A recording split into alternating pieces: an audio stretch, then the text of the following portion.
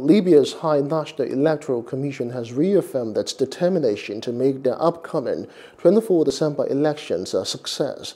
In a statement issued on Saturday, the anniversary of the 2014 parliamentary elections, the HNEC stressed that as the date of the new election approaches, its staff is looking forward to using the polls to make Libya a country worthy to be called a democratic nation based on good security, peace, progress, and stability.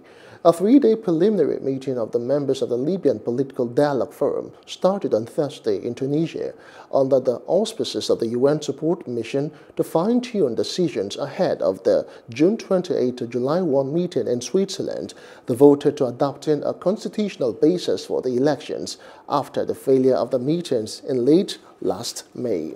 Hello, hope you enjoyed the news. Please do subscribe to our YouTube channel and don't forget to hit the notification button so you get notified about fresh news updates.